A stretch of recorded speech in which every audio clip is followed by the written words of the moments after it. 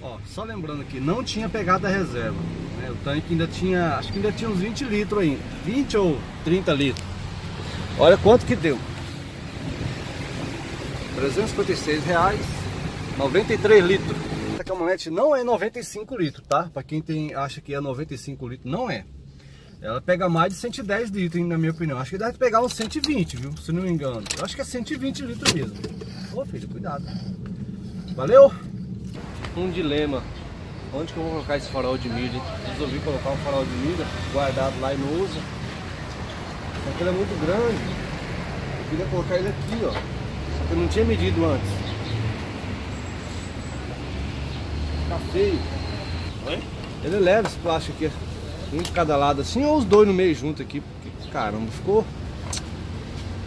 Aqui vai ficar meio perigoso quebrar, não vai? O problema é quando você precisar dar uma rebocada na bicha. E eu rodo o lugar brabo, hein? Aí que é o problema, né? Melhor deixar na grade. Se você tiver que pôr na tábua aí, a possibilidade de quebrar ela é grande. Que aqui aguenta. Tipo assim, é, essa, essa parte pra cima e furar aqui assim. Cortezinho aqui, você não consegue colocar só o ferrinho como blocante. É prático. Ele... A bruta ali, eles mexendo, eu vou dar um pulinho na lotérica, que é aqui perto. Tô aqui no, na região do zero quilômetro. O aeroporto tá bem do outro lado. Aqui que eu vim olhar os pneus, ó. Aqui tem Ling Long, Fat, pneus bons aqui. Aqui não vende pneu é, Goodyear, não vende nem o BF. Aqui atrás de mim. Tô aqui na região do zero quilômetro. Deixei na autoelétrica ali a brutona. Adaptar lá um farol de milha fácil de tirar depois, quando precisar. Tá eu gravando com o celular aqui no meio do povo. Se você é de Cuiabá, Vaza Grande, eu vou filmar uma loja ali, ó, que dia domingo ela abre. Loja de autopeça. Tô aqui no posto zero quilômetro, eu fazendo propaganda de graça. Os caminhão passar ali, ó, Rei Autopeça, tá vendo? Vou dar um zoom ali, ó. Domingão, se você estiver precisando de peça, qualquer peça, aqui tem bastante coisa, hein? Ela abre dia domingo, hein? Feriado também, de vez em quando eu vejo ele abrindo. É o japonês. Sempre compro as coisas ali. Rei Autopeça.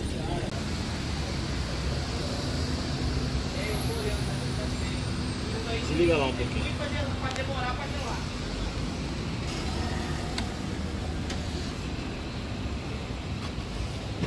É, um fio aqui, ó.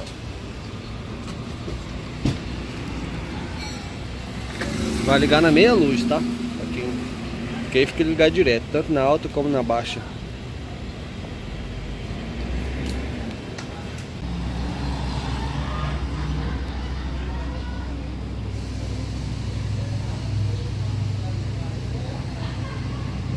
Situação desse farol aqui.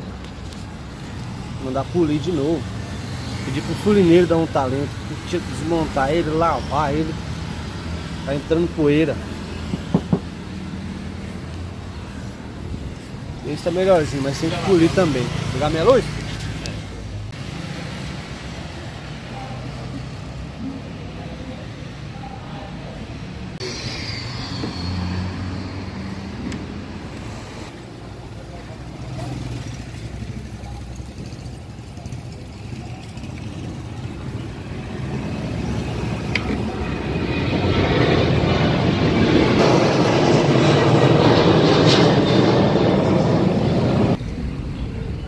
A luz de freio queimada. Aqui entra muita terra. Caramba. Essa aqui é a original ainda, CBR.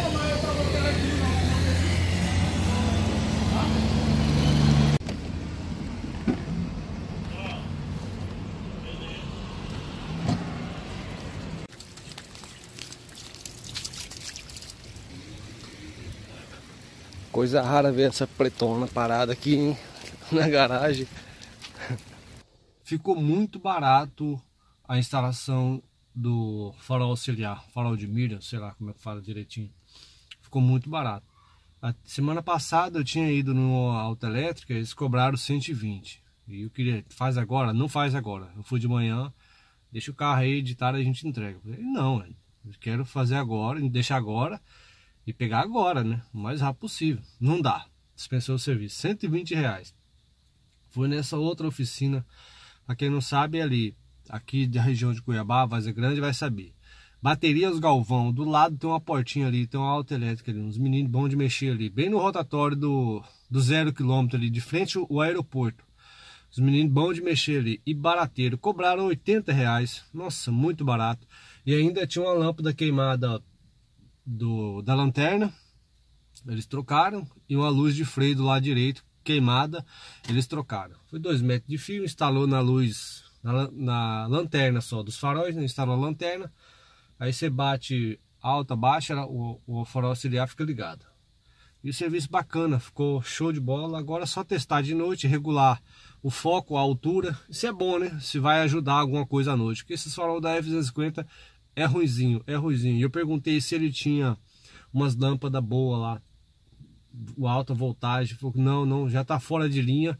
As autopeças nem tá autorizada mais vender, não, não tem nem, nem mais para vender. Então só tinha lá os originais. É, originais que eu digo assim, o, é, como é que diz? Os watts originais que ela vem de fábrica é os mesmos que está aqui na F250. Não sei dizer. Não compensava trocar não. Ele só me aconselhou a polir os faróis, que o farol está bem judiado, está bem gasto. Também é, muita rodovia, estrada de chão atrás de caminhão, poeira, nossa, chuva, farol, é, farol tá quente e tá batendo chuva, sabe? Isso judia demais. Eu rodo pra caramba, então eu vou mandar polir de novo para ficar melhor o farol aquela coisa assim, eu podia ter colocado uns farol auxiliar melhor, podia, podia sim, tem condições de colocar uns farol auxiliar melhor, melhor, né? Um xenon, mas eu não quero, não quero assim que ele fique chamando atenção, não gosto de chamar atenção. Eu, eu, de confessar que eu relutei bastante para colocar esse farol auxiliar, viu? Você viu que ele é pequeno ainda, eu relutei bastante para colocar, porque eu não gosto de alterar muito a característica da caminhonete, não, não queria. Mas às vezes eu sinto uma falta, né, devido ao farol original da F-250 ser ruizinho, né? eu queria uma coisa assim que não chamasse muita atenção, por isso que eu coloquei eles. Eu que, é, eles deviam ser um pouquinho menor para encaixar lá embaixo, na lateral da placa, onde eu queria. Mas tá bom, vamos ver. Quem sabe futuramente eu coloco um outro maior aí, mas meio difícil, bem difícil. Não gosto muito de chamar atenção, de alterar a característica da pretona não.